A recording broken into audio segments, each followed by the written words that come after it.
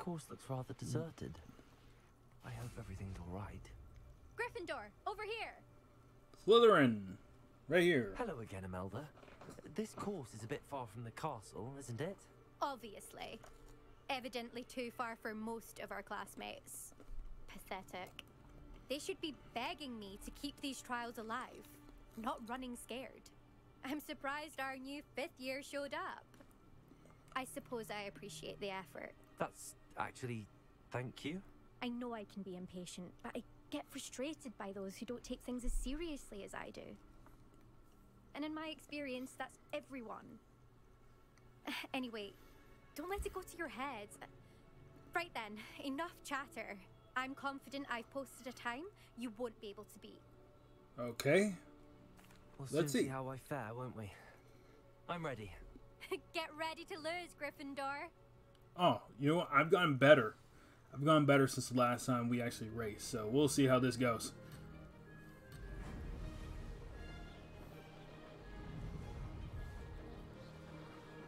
Made it. Brilliant. Come on. There we go. Come on. There we go.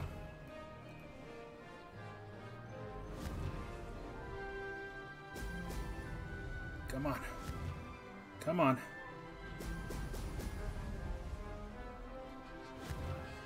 Right there. Uh, there we go. Okay. Might as well go ahead and pop that. We got it. We got it. We got it.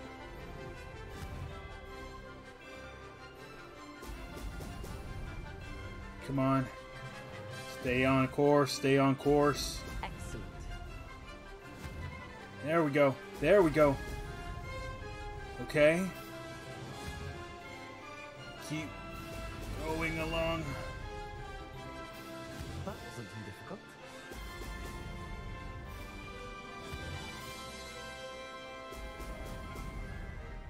Still going. There we go. Woo. Brilliant. Come on, come on, come on.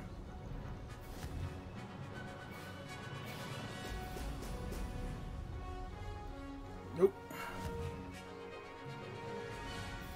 Come on. We got it. We got it.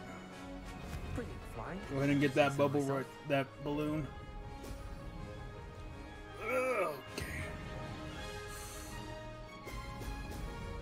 Okay.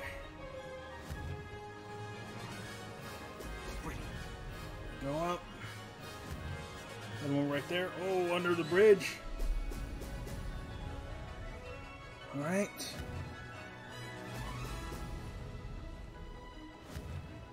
Come on. There we go. This is going well. Okay, haven't missed one yet. Of course, I missed those bubbles, but I don't think it's necessary for them. I think I could definitely do better. Yes! Yes! That's what I'm talking about.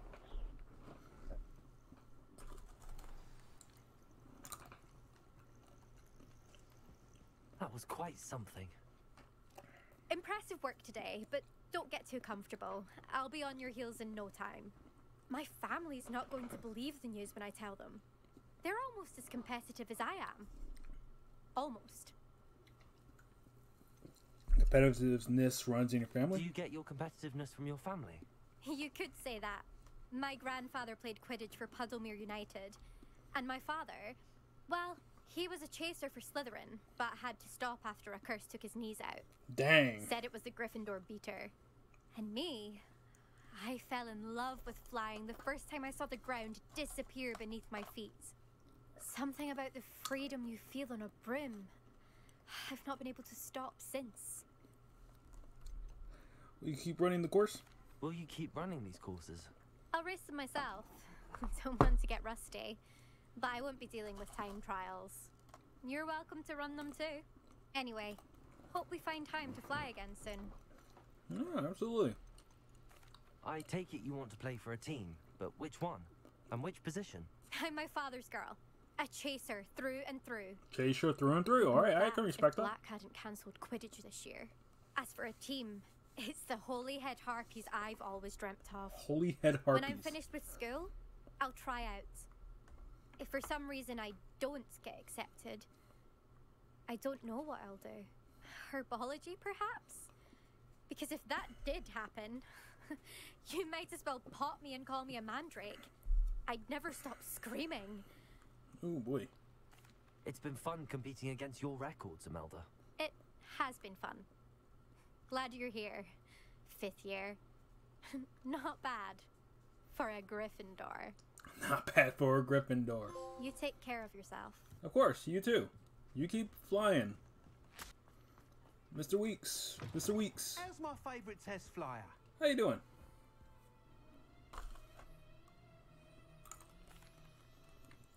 Hello again, Mr. Weekes. I set a new record at the South Course. Fantastic! Your broom performed well then? The best upgrade yet. It flew beautifully. There's only been incredibly two upgrades. But with the speeds it now reaches, I can feel the wind catching beneath the seat a bit, preventing it from reaching its full potential. Of course! Should have anticipated that. Exactly the kind of report I've come to expect from you. At last, I think I know what needs to be done for my final upgrade. I shall look forward to speaking again. I'll be sure to send you an hour when I'm finished. Thank you again for your help. All right, cool. Couldn't have done this without you. Of course.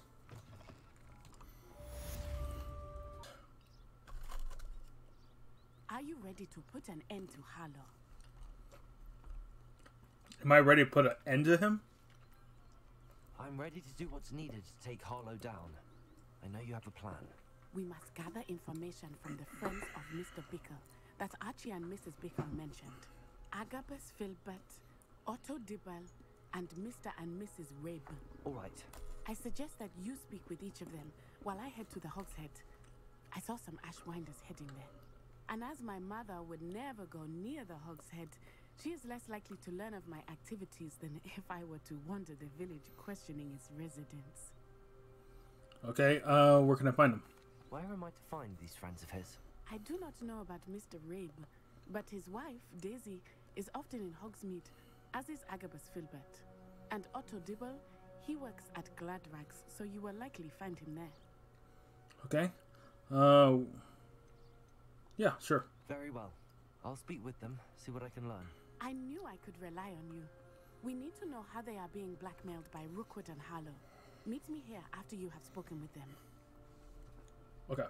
Hopefully, by the time you return, I will be able to move a bit more freely. Hopefully. But don't move too freely because you know you're you're still a student. All right. So we are. Oh, what was that? What was that? Eh, must have been nothing. Okay. Anyway.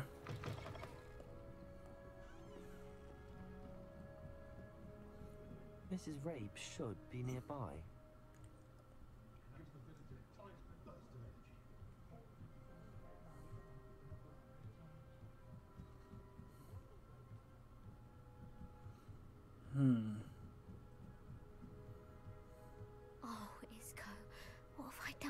Daisy Rabe. Mrs. Rabe, I wondered if I might speak with you about Theophilus Harlow. I'm a friend of the Bickles and I'm trying to gather evidence against him. Poor Joanna and little Archie. And now Harlow has taken my darling Isco. What do you mean? Why? I'm a security guard at Gringotts. A and My husband is a curse breaker for them. Harlow approached me about helping him extort my colleagues into giving him treasures from the vaults. And you declined? Of course I declined. Repeatedly. I thought they'd given up until I came home one night and found my husband gone and a note affixed to my door with a knife. The note stated that I only had a few days to reconsider helping with some banking needs and that my husband would appreciate it if I acted quickly. But the help Harlow wants is help that I cannot give, and my dearest Isco is paying the price. Okay. Uh, why would they take your husband, not you? Why wouldn't Harlow extort your husband? Isco's job is even more removed from the vaults than mine. He travels the world for the bank. He could do nothing for Harlow. I'm the one in the bank on a daily basis, which evidently makes me an enticing target for blackmail. Okay. Have you have given Harlow any information about Have you regards? helped Harlow since your husband was taken? No, I'm worried sick about Isco, but he'd never want me to compromise my integrity. I also know that he's extremely clever. That said, I was hoping he would have escaped by now. It makes me concerned as to why he hasn't. Okay. Uh, let me ask this Are just you so. sure the note means that your husband was kidnapped? What else could it possibly mean? Besides, I came home to find that someone had trampled the daisies in our garden. Trampled the daisies? But those were Isco's pride and joy. He would never have let that happen. Grows daisies buried a girl named Daisy. Thank you, Mrs. Rabe. Knowing the lengths that Harlow will go to is helpful, albeit more than disturbing. Mr. Bickle was trying to help us, but now he's gone. I don't know what to do. I shall do all I can to get evidence against Harlow, Mrs. Rabe. Very well. Here's the note I received. You must be careful as well.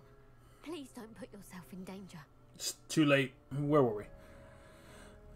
Mrs. Rabe, we do hope you will reconsider helping us with our banking needs. We've given you ample time to reach a decision on your own, but we are beginning to lose our patience. We know your husband would appreciate it if you were to see the value in our working together. Shall we expect a response by week's end? Best to keep this between us, if you understand our meeting. Oh, okay. Some evidence worth hanging on to. Thank you. I hope it's not too late. I hope so To either. find Mr. Bickle's other two so friends. There he is. tell me you didn't take it, but perhaps it's been here all along. Mr. Dibble, may I speak with you? It's about Theophilus Harlow. I've nothing to say about him. Uh, may I interest you in a stunning cravat today? Cravat. Please, sir, What? I would like to help. I spoke to Mrs. Bickle. You know the Bickles? Yes. Mm, all right, but we must be discreet. Can't have Mr. Hill hearing this. Of I course, of course. He was kind to me the day of the troll attack. Oh, he's a good man, but even he wouldn't understand about Harlow. It started a few weeks ago. I was distracted, reading a note when you know who came into the shop. Okay. I note behind the counter and offered to help him. He stared at me for a moment, then asked me to check on an order he'd placed. I went into the storeroom to check on what turned out to be a non-existent order. When I returned, he was holding the note. What was in the note? It was a note from Rosie Hill, Mr. Hill's From daughter. Rosie You see, Hill. We've been, well, secretly engaged these past six months. Huh? I haven't told Mr. Hill yet. What? He has higher hopes for her. Harlow advised me in no uncertain terms that my relationship with Rosie, not to mention my employment here, depended upon my cooperation. What does he ask you to do? What? It all happened so quickly. There's so much In blackmail. instant, he took a very expensive scarf from the counter, pocketed it, and smiled. He said, Your secret is safe as long as I can supply my lady friend with delightful items like this every so often. I've been able to cover for his requests until now with some creative bookkeeping. Creative but bookkeeping. I can't keep it up for much longer. I'm terrified to say anything. I could never live without Rosie. Okay. About the note. Could you give me a bit more detail about the note? That might help me to identify it should I come across it. It's on Rosie's special pink stationery. It has her monogram at the top, RH. That's how Mr. Hill would know it was real. Okay. How are you hiding the extortion? What have you been doing to keep the extortion a secret? Well, as I mentioned, creative bookkeeping. And I've also been trying to cover the costs with my own savings, but I'm running out of money. Creative Of course, bookkeeping. none of this bodes well for my efforts to improve my circumstances and be worthy of Rosie. I met Mr. Hill the day of the troll attack. He was kind to me. Why don't you just tell him? He's a lovely man, but when it comes to Rosie, I fear he loses all perspective. He'd see this as a grave betrayal. I'd lose my job instantly and Rosie as well.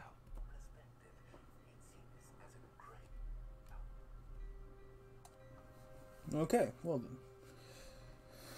Thank you for telling me. I'm gathering evidence to take Harlow down. I would love nothing more than to see him rotting in Azkaban, but be careful. He's an awful man and incredibly dangerous. As for Rosie's letter, should you happen upon it, I have committed it to memory. You may destroy it immediately. Understood. Now hurry off before Mr. Hill returns. Of course. Where was I? We're on the right track. Now to find the last of Mr. Bickle's friends. Hey guys, it's Night here. I'm just here to say, hey, if you liked anything that you saw in this video, go ahead and hit that like button. Also, if there's a game that you want me to try out, don't be afraid to just write it down in the comments. I'll be love to see what y'all suggest. And one last thing, if you want to see more of my videos, go ahead and hit that subscribe button. That way you don't miss anything that comes out. Alright? Peace out.